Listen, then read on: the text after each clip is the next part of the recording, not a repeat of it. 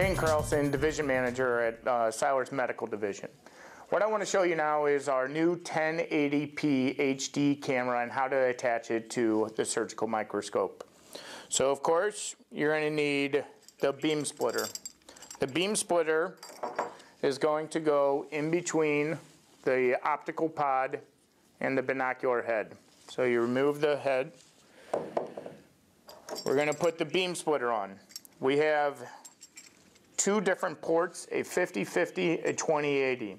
So what that means is we have two individual prisms, 100% of the light's going to be going down through the optical path. Remember, it's all coaxial illumination, so it's completely shadow free. After the light hits the specimen, it's going to bounce back up into the beam splitter. Depending on which path you have the video or digital on, that's going to be the amount of light reflected into the right side or left side of the port. So for instance, if you have the 50-50, you have two optical paths going through the beam splitter. You're going to have 50% of the one optical path go through uh, the port in order to give enough light to get the video or digital imaging. Now, with today's cameras, they're so good that they have individual iris diaphragms that can basically block out the light of each one. So honestly, you can put uh, the CCD HD video camera on either side, 50-50, 80-20, depending if you're right eye or left eye dominant. So we're going to go ahead, put the beam splitter, remember, screw this all the way out. You're going to have an individual slot, rest it in there, and then you're going to tighten this back up. Now we're going to put the binocular head back onto the beam splitter. Again, you have the individual slots that just goes directly onto the beam splitter. Lock it into position. Now we're going to go ahead and put the HD adapter onto the beam splitter. And typically this is just a C mount adapter. Lock it into place and take the black ring and lock it as well so it secures the CCD adapter.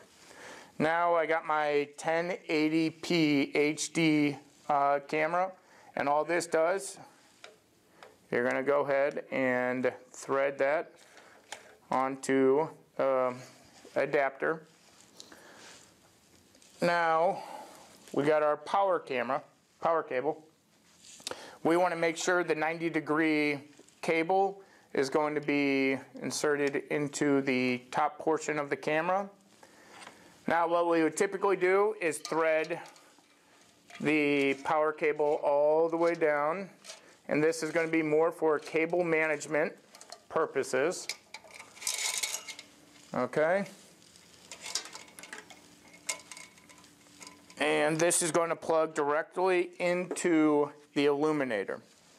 And typically for cable management, what we do is we'll take some threads and clean it up a little bit. Now what we want to do, turn on the microscope. Okay, so we're going to have power to the camera. And if we bring this over here, I'm going to have my HD cable. This is our HDMI. So any HDMI cable is going to work. We're going to have it plugged into the HD uh, monitor, which I've already plugged it in. So this HDMI cable is going to plug directly into the camera.